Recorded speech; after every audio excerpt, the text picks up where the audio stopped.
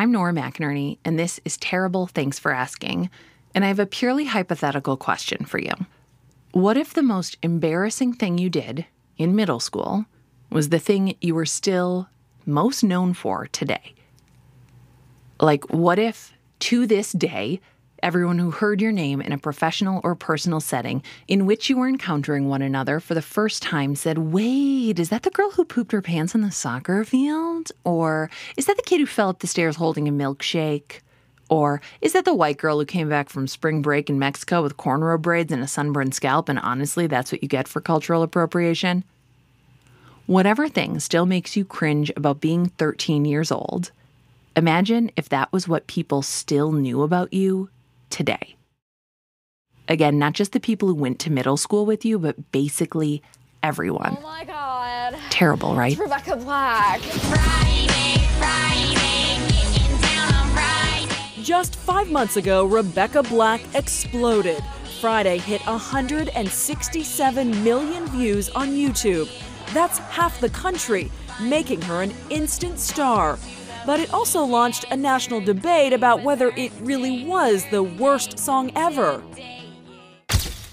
In 2011, Rebecca Black was a normal middle schooler until she wasn't. So, to set the scene for 2011, what it's like online at this time 2011, Instagram is newish. Uh, we are not running businesses on Instagram, there are no influencers. We are just, you know, plopping down terrible, highly filtered photos that are almost illegible. You and your mom, and my mom, and myself, we're all still on Facebook and we didn't hate it yet. It was the place to be. YouTube was a place where people put up random vlogs, uh, where there were a lot of weird prank videos. Justin Bieber was discovered on YouTube. He did covers of Usher songs, then he was on Ellen, then he was a big recording star. Then all these little kids were seeing this and thinking, oh my gosh, cool, I want to do that. Rebecca was the kind of kid who just loved to perform. She always had. Where I grew up, there was like this little shopping center that kind of had all these little like things for kids. There was a dance studio and a karate studio. My brother went downstairs to karate, I went upstairs to dance, and like that was just kind of something my parents tried. And I think my brother lasted a few weeks in karate, and it became very clear that it just did not matter to him at all. And I never left that dance studio. Like I just fell in love with it at I don't know. I, I, mean, I was, I think, only maybe three years old when I started, and I really never stopped. And that time where, I mean, these are like very beginner level dance classes, what I really just loved was this opportunity to perform. And even though I didn't stay a dancer throughout my entire life, and I regret that to this day, I don't regret that I never stopped performing. And that performing went from dancing to I tried my hand at acting classes, and then I found singing when I was 10 years old. But I think my earliest memories were those days where it just became like the best part of my day. It was the first like defining thing where I can remember me going like, I like this so much and I want to keep doing it. And I grew up in like such a small community. I went to a really small school where you knew the same people from the time you were five to when you were 12, which I mean, isn't a big gap of time, but at that point, it is your entire life. And it was like the one place where I could go and, and just say, oh, this is mine. Like I could see myself never getting tired of this. Rebecca grew up in Orange County, California, in a small ranch community. It's not like Orange County, the show. It's not Orange County as seen on Laguna Beach. It wasn't fancy.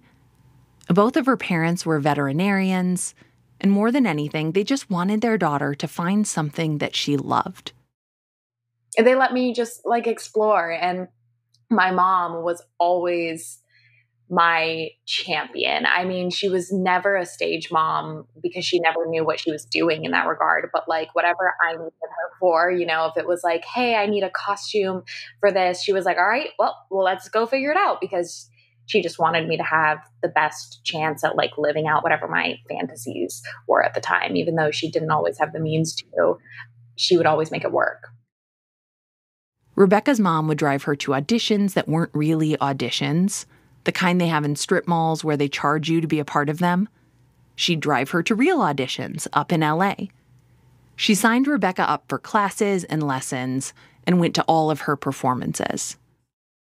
I really feel like the most like definitive memory of myself comes from when I entered middle school, which was when I went from being in like that tiny little environment of elementary school to in like a regular public school and I was the new kid and I was really into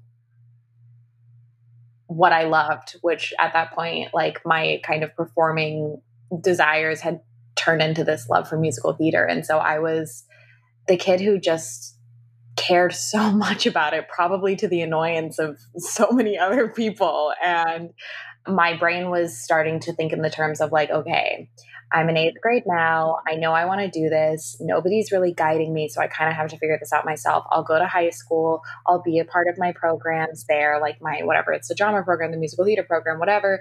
And then somehow I like got to get myself to be able to apply and like be accepted into like Tisch, which is a, a New York um, School for Arts, or Juilliard, or like Berklee School of Music, or something like that. And so I had a friend of mine who was kind of similar to me in that and had done this project with this company over the summer. And they gave her a song, they created a music video, and that was that. And so I just asked her, like, what is this? How, how did you do this? And she gave me the information and I don't think I even really cared if it was real or not because I just loved like the whole experience of trying out for these things and getting like some version of what felt like experience. And it was this company that just, you know, kind of did this for kids. You know, you get your own version of a of a song and get to be in a recording studio and they'd shoot you a music video and then there you go. And like none of these kids were like pop stars at the time. They were just people I literally knew from like summer camps and my middle school.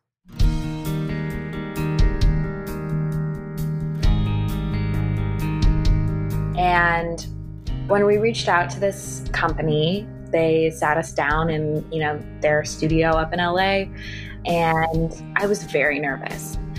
At that point, the biggest thing I was obsessed with was was Justin Bieber. And so I was so like familiar with my idea of what his life looked like as Justin Bieber. And I mean, I was not walking into like Capitol Records big beautiful building in Hollywood with this sprawling recording studio and like I don't know, Max Martin, like sitting at the booth. I was walking into a back house in Sherman Oaks, which sounds very suspicious, but it, it's actually not. That's just a much more common way of making music in LA than people think. And I, I met these two guys, and I mean, I definitely was too young to really understand anything about what, I don't know, formalities people were talking about.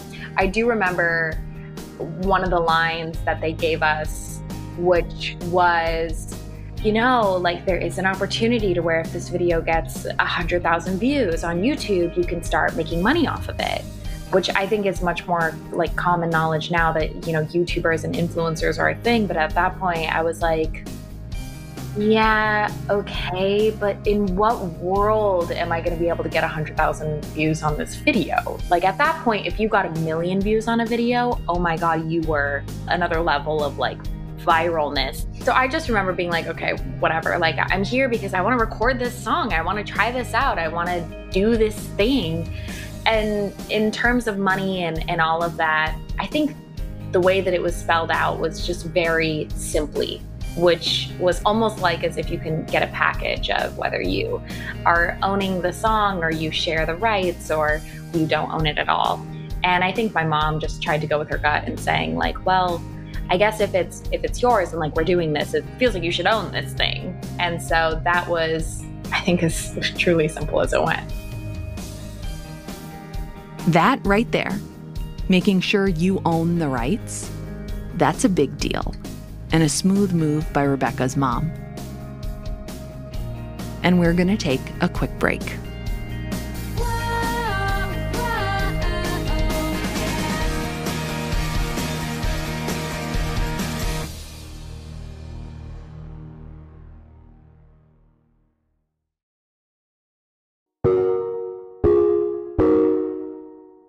We're back, and Rebecca and her mom have just signed a deal with a company called Ark. Ark produces songs and music videos mostly for kids. and Rebecca is about to record her first ever music video. She had recorded the song earlier, but the day before the shoot is the first time she actually hears the song.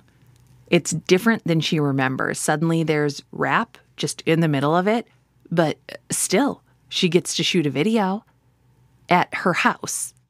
I was definitely very nervous. I was excited because this was something that I had kind of made up in my head all of these things to expect and all of these like grand expectations.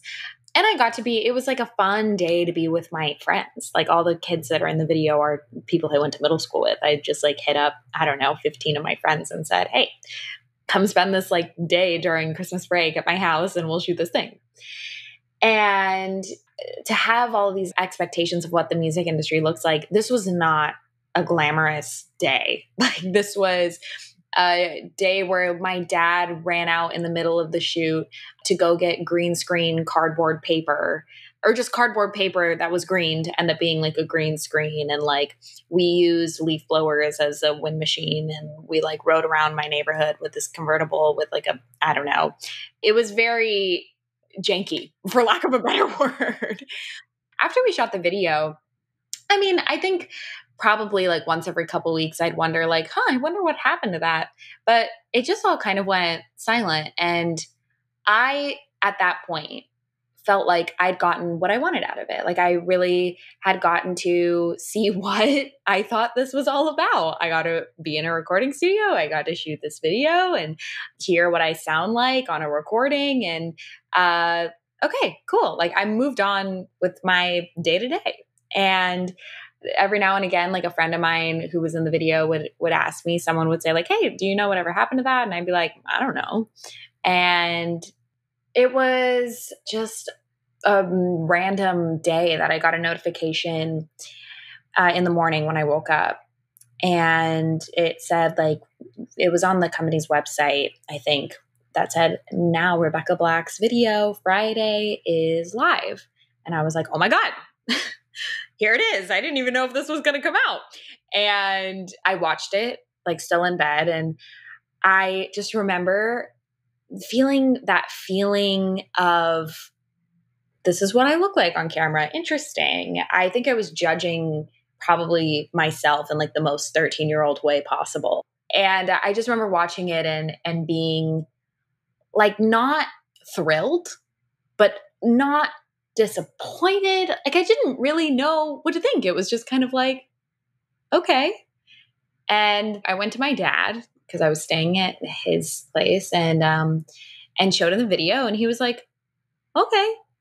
And that was it. That's it. She records a song, records a video. She tells her friends, nobody really cares. And it's not like she expects it to hit the charts or anything. She's just gaining experience for her future career in entertainment. She now had experience in recording a song and making a music video, and she tucked that experience under her belt and moved on with her life.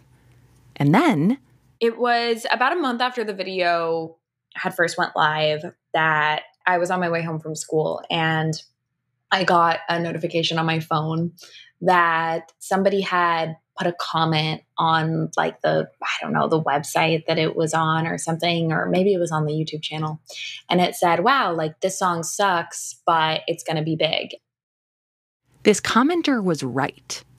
Overnight, it would go from a few hundred views to tens of thousands. Part of the reason why it got big was this comedian named Daniel Tosh, who had a show on Comedy Central called Tosh.0. The humor was very white guy in 2011, like, I'm gonna offend you because I'm funny. And to be honest, full disclosure, I used to really like it, and I saw him live once. I.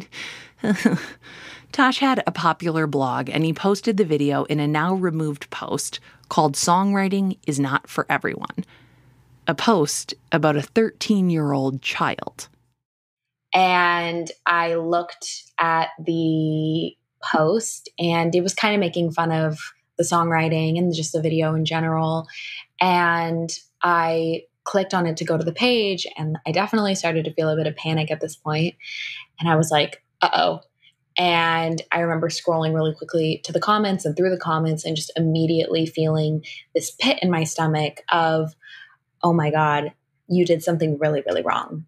Like you really messed up.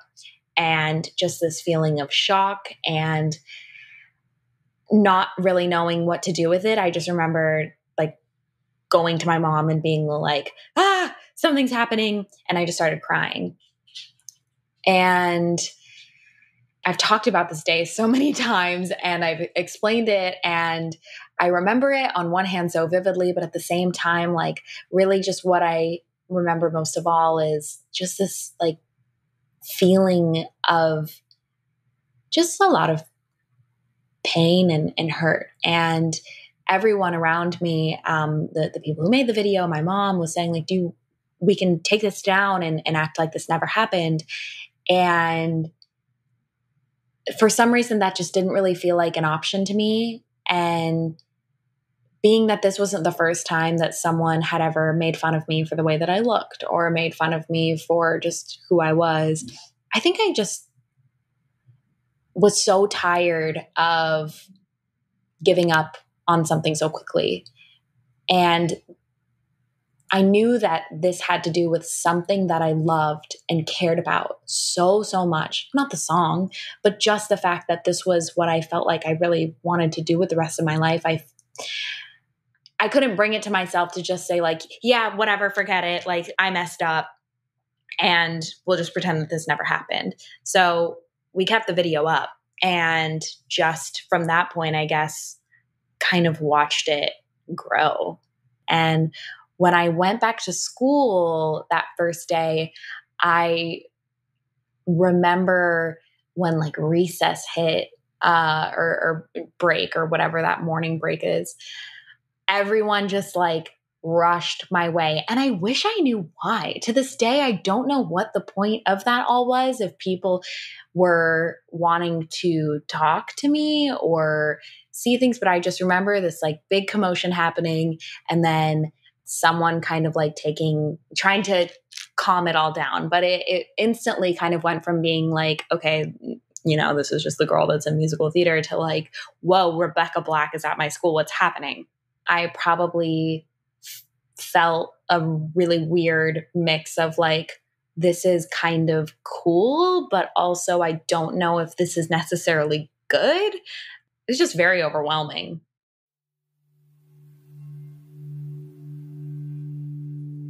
Imagine you're 13 and you make a thing or you contribute to the making of a thing that is actually largely out of your control. Grown ups wrote the song and conceptualized and filmed and edited the video. Grown ups put it online. Grown ups found it and put it on their blogs for other grown ups to make fun of. And then other, more famous grown ups, like Stephen Colbert and Jimmy Fallon and Conan O'Brien, wow, they all made parodies of it. Everyone made parodies of it. People who don't know you are leaving comments telling you that you suck, that you're ugly, that you should kill yourself. Now, Rebecca appeared to be in on the joke, or at least rolling with it. She got scooped up by the angel Katy Perry, who put her in a music video and had Rebecca perform with her. Lady Gaga, also an angel, called Rebecca Black a genius. And you know how her mom had bought the rights to that song?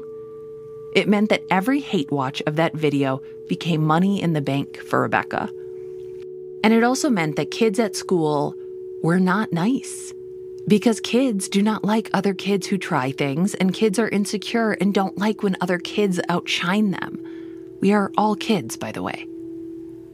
And in every video of Rebecca from this time, even an interview with ABC News about her being bullied online and in real life, she's just smiling she looks so happy and strong and positive.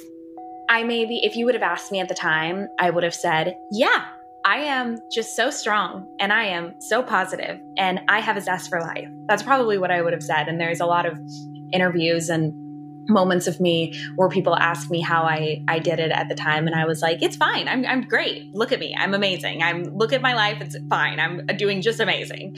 And it's so hard for me to watch those because I really did think that I was just not affected. And no way am I going to let hate comments get to me because everybody tells me that I shouldn't let hate comments get to me. And it should just be that easy, right? And it's not, it's fully not. One thing that became very apparent to me was I thought I was good and I thought I was doing fine, but I clearly wasn't. And it became very clear a couple years after the fact when I was homeschooled and spending majority of my time alone and didn't really have a lot of friends if really any friends. Um, and i just was majority of the time very miserable that i realized through preaching about how strong I was at the time, all I was doing was taking all of the hurt and the negative emotions and the shame and pushing it under a rug and just really let it pile up to the point where like there was no way to avoid it. And so I just realized I, I think I felt this this need to like be strong because that was something that I had always heard from from even like pop stars that I had idolized at the time of like, you know, you just got to be strong and, and look forward and don't let the hate comments get to you. But all of those things are, yeah, they're great in theory, but you can't just all of a sudden decide that something's not going to bother you. It takes a real lengthy process of learning how to trust your own inner guidance.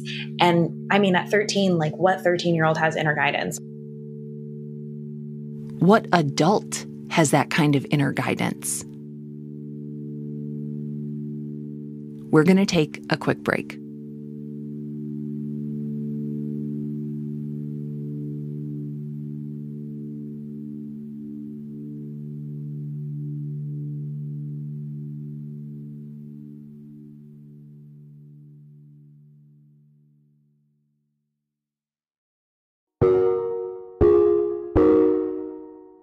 And we're back. Rebecca has gone viral, become a household name. She's won a Teen Choice Award, performed with Katy Perry. She's gotten an agent and a manager. She's been on every major news and entertainment show. The train has left the station, and she's still not driving it. It's just when you're that tender and that young, there's nothing to bounce off of. So if somebody says, Oh, you're not very good at that, you don't have that thing that says, Actually, I disagree. Or well, that's okay. I'll work on that. All you can hear is, I'm not good at this. Or maybe it's something different. Maybe it's, I'm ugly or I'm whatever it might be. And, and so for me, I just took every single opinion that was hurled my way as fact. And at the time, it was a lot of negativity and very quickly kind of being like thrown into the music industry where now you have people who are trying to make the most of what's happening and capitalize off of it and turn you into a bit of a commodity, I was very quickly like thrown into the typical young girl in music who uh, now people have opinions on your body and now people think that you weigh too much or don't look like this or your hair should be like this. My ability to make decisions for myself was just completely forgotten in my development from like the ages of 13 to probably i mean i'd say up until at like 19 or 20 was when i really finally started learning that something had really missed the mark and i was missing that sense of self that said this is mine. I had no ability to define myself or have opinions for myself at all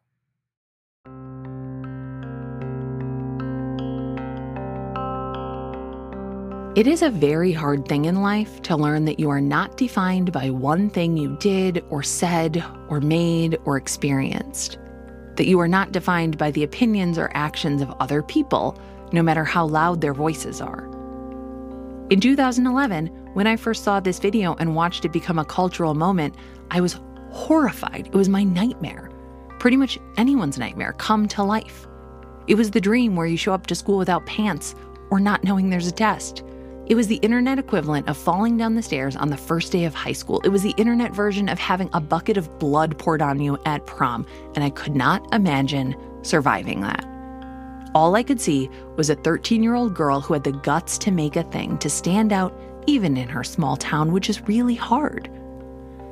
It is hard to be a person who wants things and tries to get them, because the risk is that you won't or that you'll look dumb trying. I I spent kind of a lot of time as an adult wondering about Rebecca, checking in on her online, seeing what she was doing, feeling relieved that she appeared to have found a place in the world. Tell me about the process of starting to know yourself and define yourself and figure out who you are, which, I mean, I, you are still so young. And I'm 37, and I'm like, uh, gee, who am I? What am I doing? I read like one bad comment about myself, and I'm like, you're right. I should quit my podcast. I'm a piece of shit. I'm so sorry. I'm, I, I'm sorry. I'm so sorry. I will. I, I I'll leave. I'll leave. So teach me. What what has worked for you, Rebecca? I'm still working on it. Uh, I definitely still have a lot of those moments too. I think it's not something that I have at all figured out on my own or by myself. It's not like all of a sudden I like took ayahuasca and was like, I'm good. Around the time of, of being 18 was like the first time that I really found people who could help me process. And I had moved out at that point. I'd graduated high school and I'd had the conversations with my parents of saying, I need to do this. I cannot go and do your version of what you think I should do of go to college and have this experience. I know you really want me to. Give me a few years and then maybe we can talk in the future, but just please let me be me. So I moved out and within that first year I, I started working with with someone who would really help me with with processing um, in like a version of therapy. And it was the first time that I felt like I could give myself forgiveness for this horrible thing that I had done, which obviously looking back, there's so many more detrimental things to the world and so many bigger issues. But at the time, I really felt like I had done something so wrong and that I shouldn't be where I am. When in reality, it's like, yeah, whatever your opinions on are on the song, that's fine. It's not something that I look at and go, this is the greatest piece of art in the world. But that's not the point. I was a 13 year old who did something creative, whatever. That moment of forgiveness, of trying to start not being so upset with myself for feeling like I had ruined my own life was probably like the biggest thing in moving forward. And I think also being able to know myself as somebody who had more to offer than just this song. I let myself define myself as just this one moment when I was 13. And I was trying to run as far away from that as I could. But the further that I ran, the faster it chased me, and the more that I felt like this one moment in time rather than at this point, you know, a, someone who's developing into a young woman. I just started from there and I've tried to be kind to myself in in the moments where I still feel that shame, in the moments where I still feel like I read one comment and think like, "Oh my god, I should what why did I do that?" or like, "I should never make music again." Like I still have those moments so, so often, but the best piece of advice I think I've ever gotten is when when you get like a negative thought like comes into your head. It's just like asking yourself like is that true? Like, okay, yeah, I might feel like I suck, but is that true? Like, what do I know about this? Or what other opinions can I give myself on this about how I feel about it?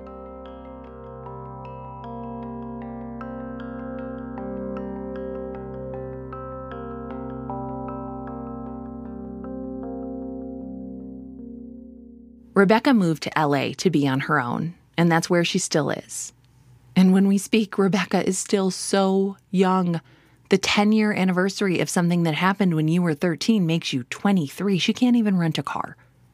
And she's a grown up, and she's making her own music, and she's finding her way in the world, same as any other 23 year old. Along the way, I, I have really found a way to find like a community that feels like they're people that I would know and, and love if we all grew up in the same town together. And um, that's been through my YouTube channel, that's been through uh, the ways that I I guess kind of show different parts of my life. And and as I have grown the the kinds of things that I want to create have also just changed and and they still continue to change. And I am asking myself more than ever like what can I offer in a sense that'll feel really good to me but also provide something that's valuable for my audience because I know that it's not just them relying on me, especially during this year that has been like the just shit show that it, it's been. We really rely on each other. And so I am just trying to take whatever I can, whether it be, you know, like a really valuable lesson. It doesn't have to be this deep talk all of the time, but just making them feel like they have that person there that I wish that I had growing up that would have helped me kind of like be guided through life. There's a saying on the internet if Britney Spears can make it through 2007, you can make it through today. And yeah, Britney got a really raw deal, and hopefully someday we'll talk about that together. But really, I would like to update that phrase to say if Rebecca Black can survive being bullied by most of the world, you can make it through this.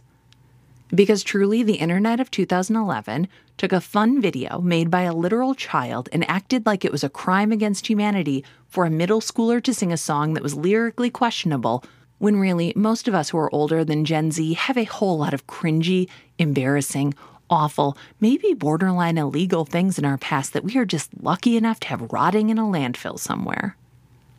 That Rebecca is still here that she's alive and that she's still creating and putting herself out there, someone give me a giant trophy so I can give it to her. You don't even have to give it to me, just give it to her directly. That would probably be smarter.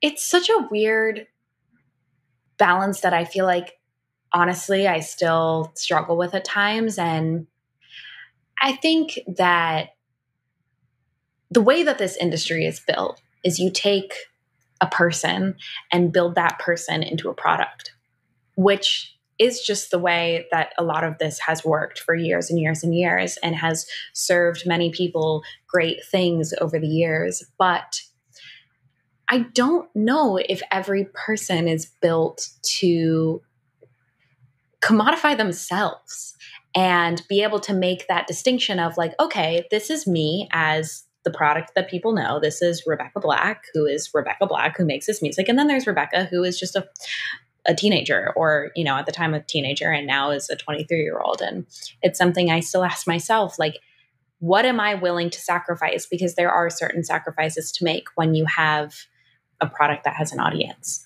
So I think now there is a, an element of the industry and a, a part of the industry that is trying to rework that and build more just humanity into the entire process because it becomes very difficult at times to kind of di- differentiate yourself from who you are as this brand and who you just are because I'm always changing. I'm not meant to be this one thing.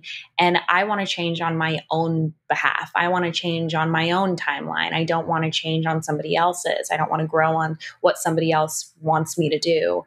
And I guess just being honest with myself of like what I'm willing to sacrifice and what I'm not. That I think has been the biggest like balancing tool that I found is really asking myself how comfortable I am versus how comfortable I feel like I should feel if that makes sense. In a lot of ways, Rebecca is the best case scenario of how going viral can affect a kid. She's not that terrible, she just lived with a lot of anxiety and depression during her formative years. But what about kids now who are being pushed into being viral, into becoming brands? If Friday happened in 2020, what would be different? I don't think today's internet would publicly shame a kid and also, she'd have Instagram swipe ups and a line of something or other. Today's internet almost hungers for kids to be content creators, to be profit centers. I look at so many of these kids who are having their own experiences through it now. And I just hope that they've got someone there that is like just purely looking out for them. Because I mean, now more than ever, I feel like very quickly it becomes like the point of just capitalizing off of these kids just happens even quicker than than how it happened with me. And i just know how how hard that is to understand at 18 or before 18 and how difficult it is to put yourself out there like that. At any age it's hard to put yourself out there. It's hard like both my parents are divorced and they still talk to me about how hard it is to put themselves out on dates. Like it's just hard to get yourself out there at any point and as a kid i just hope that we all keep moving in a direction where we are taking care of kids and where we are aware of the fact that they are children. And the one thing that I heard so often growing up, and I still hear now, is like, I had no idea that you were 13. What, why didn't you have any idea? I get that I didn't look it, but why wasn't that more of a, a part of the conversation?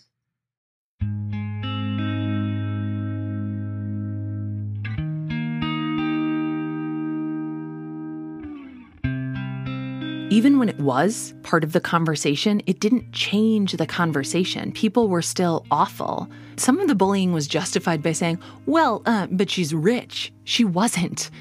And even if she was, so? Things were still really hard for her. But it wasn't all hard and it wasn't all bad. And when we reached out to Rebecca about this episode, she declined based on the title of the show. I don't blame her.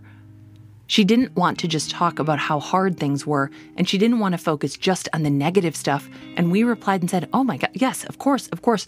The story is yours to tell. Tell it how you want to. And she's not a bright sider. She's not here telling you everything happens for a reason and all's well that ends well. She just really wants to make sure, like we all do, that her story isn't just boiled down to one thing. Nobody wants your pity, not even Rebecca Black. Nobody is just a sad story or a happy story or a viral story. I have always felt very grateful for the empathy that I think it gave me. And I guess in the sense of nowadays, I feel like we see so many people just automatically being written off, which some are deserving. Sure, when you do something wrong, you have to pay the consequences. But then again, I think when you're a child, especially, or a young person who is still trying to grow and figure out how they see the world and how they want to act, I feel like there there should be some room for forgiveness and um, for being able to at least like see where they were coming from or what they were trying to do. And I I think that has served me really well and and just in general like being able to empathize with those people who are written off whether it be i have a huge part of my audience is um, part of the lgbtq community and they have been so forthcoming with their stories on how they have been undermined and i definitely relate to it in my own sense and it's helped me understand those kinds of people who are i guess their own version of, of what feels like an underdog. I, I'd hope that I would have the same sense of empathy if I never had that song, but I just would never know. And uh, that's one of the reasons I'll never regret doing that video. It's one of the reasons I'd never do anything, I guess, differently, is because even though it, it happened in a really strange and tender way, it, it did make me who I am as the way that I see the world. And I've come to actually start to like myself. And I definitely haven't always. when I was a teenager, I was so distraught and lost and miserable. And I mean, there are still moments that I have where I feel so lost and I'm like, what am I doing with my life? Help. But at the end of the day, I do, I, I, I have learned to be kind to myself and, and to those around me, and I would never change that.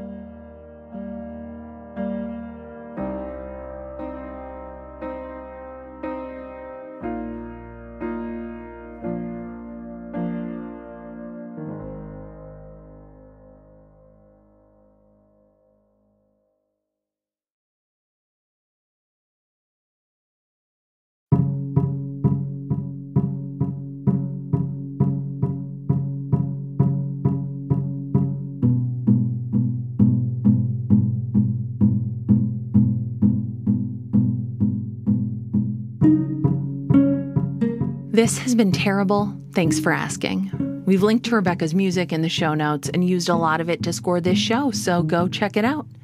This episode was produced by Marcel Malekebu. Production help by Hannah Meacock Ross, Jacob Maldonado Medina, our editor Phyllis Fletcher, Fletcher, I don't know why that was hard for me to say, Phyllis, and our digital producer Dor- Dordan Turgeon. That's the name, Dordan, not Jordan, Dordan. Our theme music is by Joffrey Lamar Wilson. If you have not yet signed up for our newsletter, go ahead, get on it. It's inoffensive. It's not going to clog up your inbox. We only send it to, out twice a month, max. Sign up at ttfa.org slash newsletter. If you'd like to read more about public shaming, I have a book recommendation. It's So You've Been Publicly Shamed by Jon Ronson. You can get it on our bookshop.org link in our show notes. That's it. We're a production of American Public Media, APM.